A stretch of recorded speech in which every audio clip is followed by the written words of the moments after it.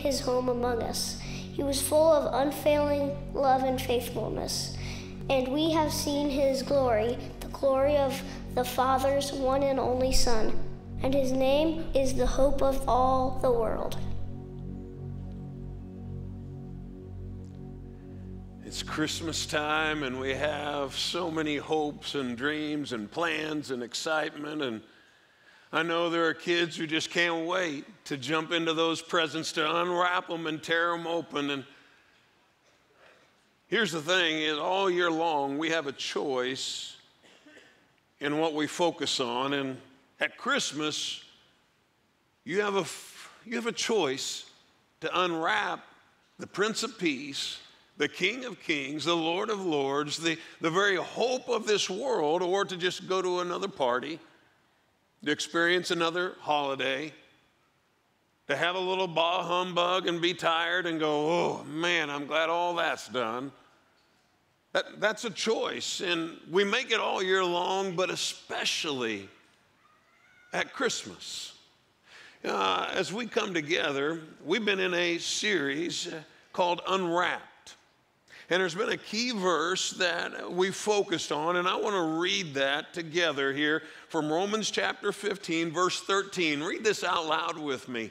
I pray that God, the source of hope, will fill you completely with joy and peace because you trust in Him. Then you will overflow with confident hope through the power of the Holy Spirit. Wow joy and peace and hope. That's needed. I mean, that's the very essence of, of being able to breathe the, the breath of life. We need those. We're going to unpack these verses coming up in just a few moments, and I'm going to read in Philippians chapter 2. But first, I'd like to just say a prayer, please. Dear Lord, I thank you for your love. I thank you for your faithfulness. And God, joy, peace, hope. There's nothing greater than what you bring in the form of Jesus as you bring peace and joy and hope. God, I need it. I declare that. And it's in our weakness that I know you are made strong. So we come before you, an Almighty God, and we proclaim you this Christmas, Lord of today and Lord of this upcoming year, and, and our personal Lord. God, I ask that you would open your word to our hearts today in Jesus' name. Amen.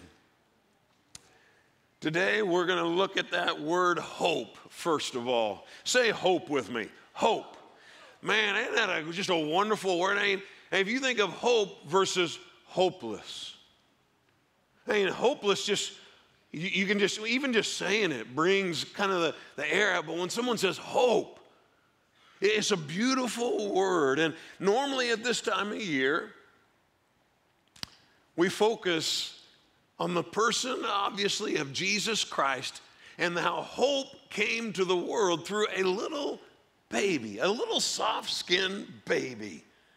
And we unpack Matthew and Luke, the accounts of the, uh, of the birth of Jesus. We talk about Mary and Joseph. We talk about the innkeeper. And we talk about the villain in the story, Herod. We talk about the shepherds. We talk about the angel on the hillside and, and the wise men making their, their journey to come and find the King of Kings.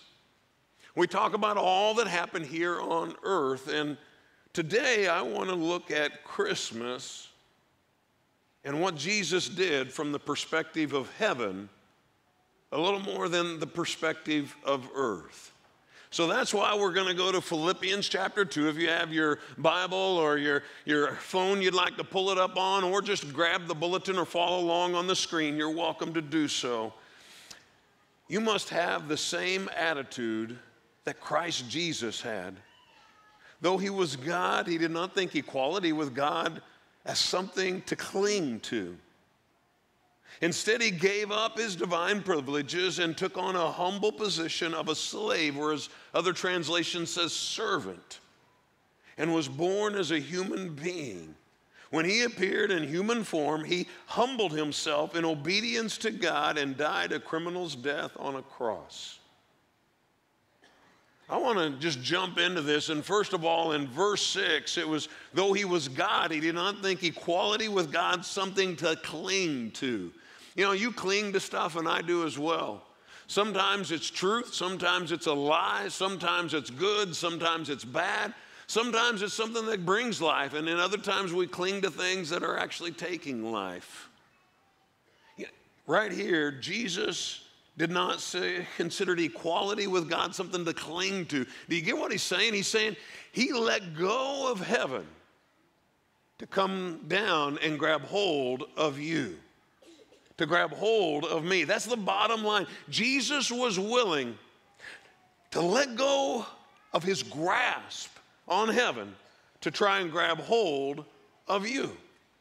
You know, I, you know, when you think about it, earth compared to heaven, you know, the corner of Pearl and Gold Street versus down here, is not an ultimate destination for God. I, I, can't imagine him sitting around with the angels going, Guys, I got a great idea.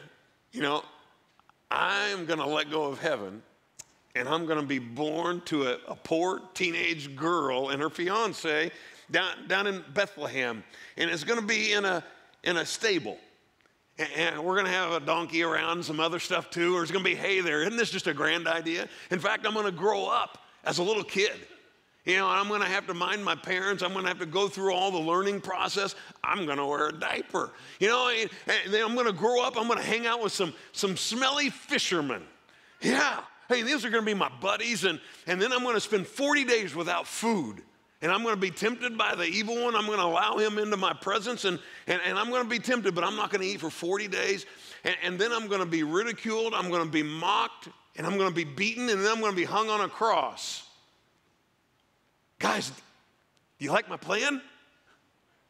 And they'd be going, No, what are you doing? You are God. And, and yet, that's exactly what he did. Why would he come to earth?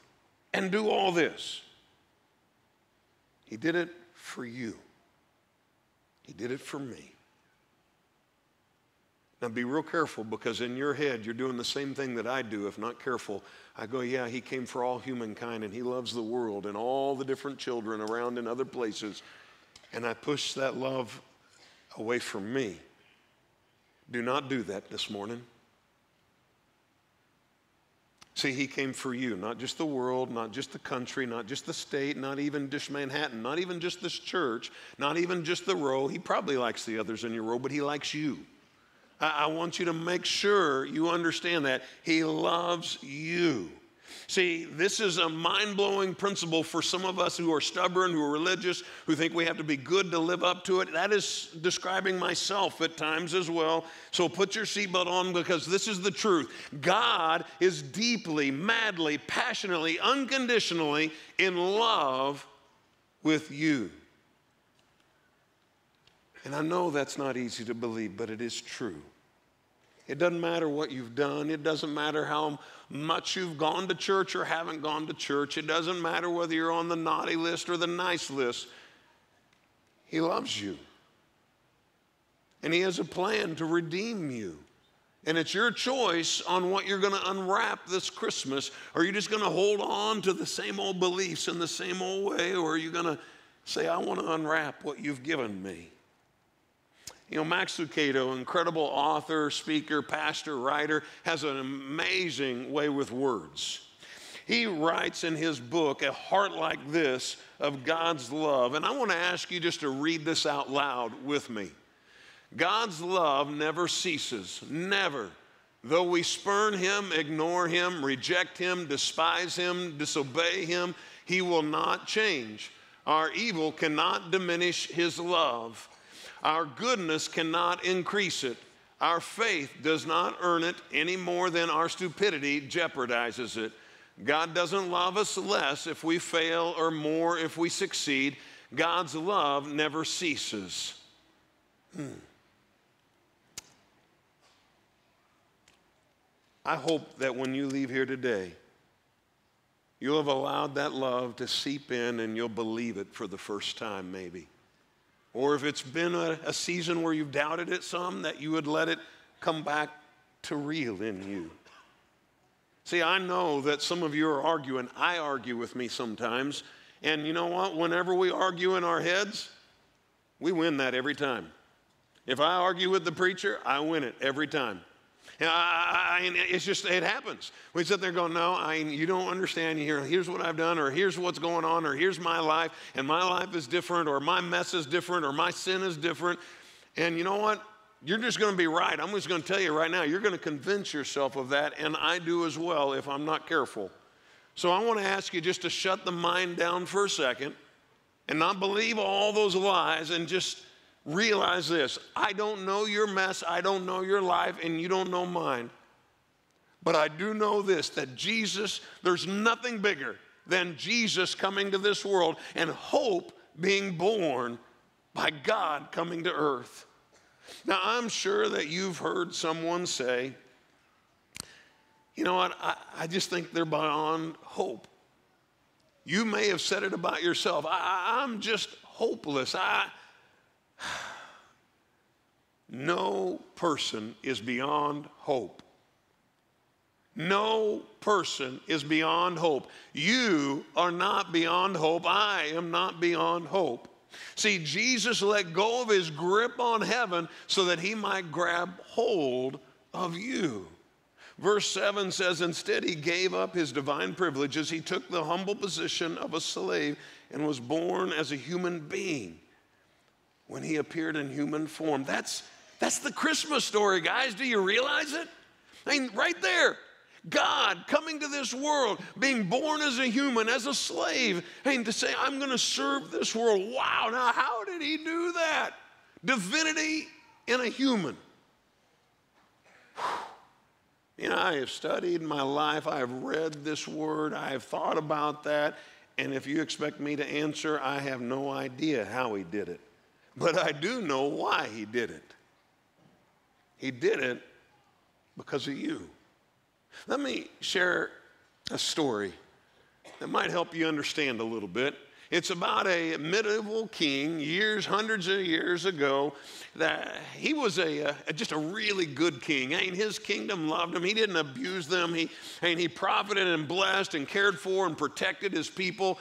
He had this magnificent castle that that he could go up on top and look out over the kingdom and his people. And he would often go up there after supper and, and he would just look out over the people. And as they would come in from the fields and working and doing things. And one night he happened to notice just a couple hundred feet from the castle walls, there's this mud hut. And he had seen this lady coming in from uh, the fields working before, but just something about her just grabbed his attention this time. And and it just there was a kind of a bounce to her step, and she was singing a little bit, and she goes into her mud hut in her rags, and he's like, wow. And something about it grabbed his attention, and then day after day he started noticing, and over time, all of a sudden he felt his heart being drawn, and, and then he realized, I'm falling for this woman.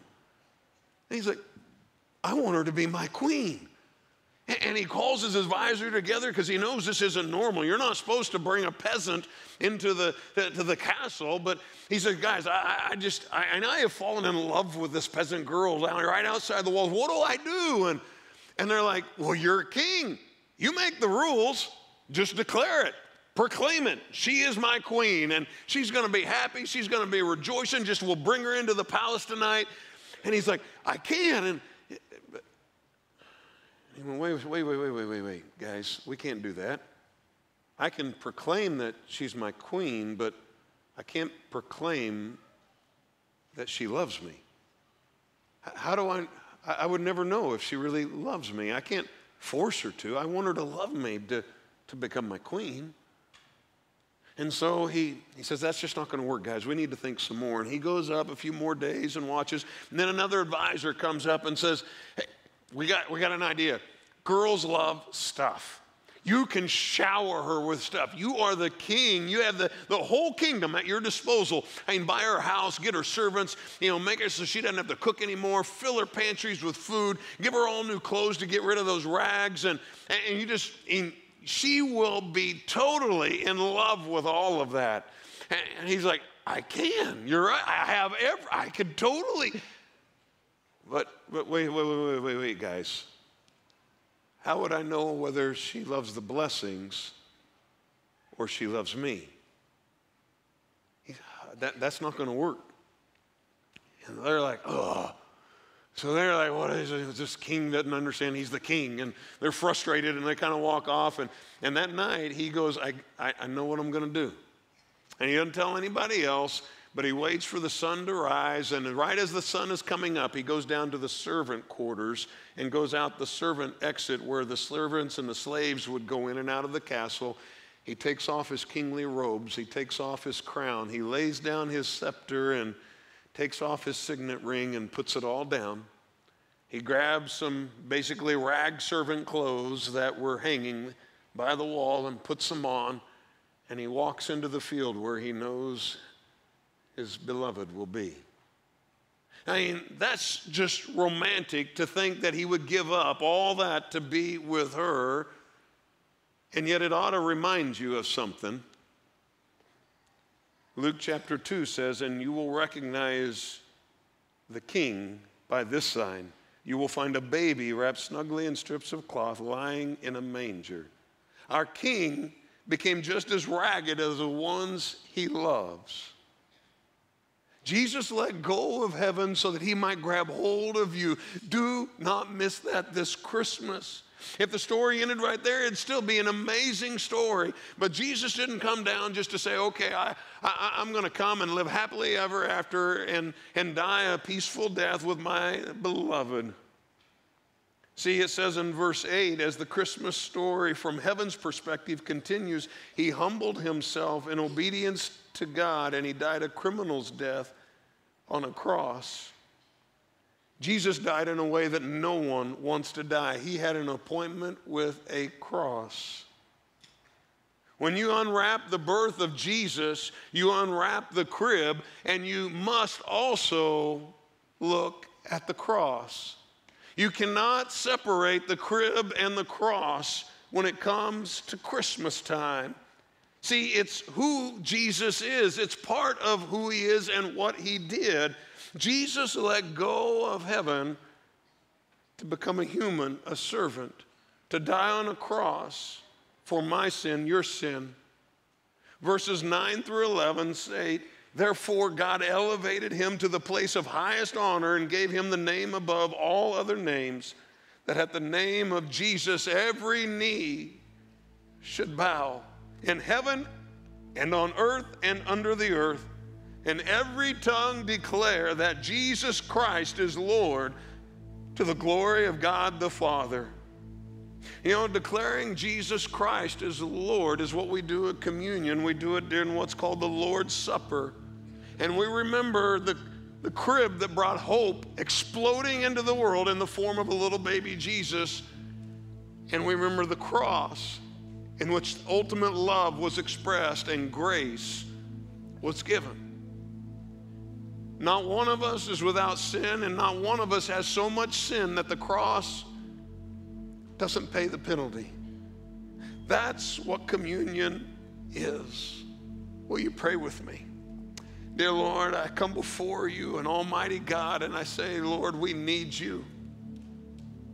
God, I am so thankful for the cross. I am so thankful for what you've done in my life and grace and forgiveness and Lord, I ask that as we are about to partake in communion again, this 2,000 year old tradition, it be alive to each of us.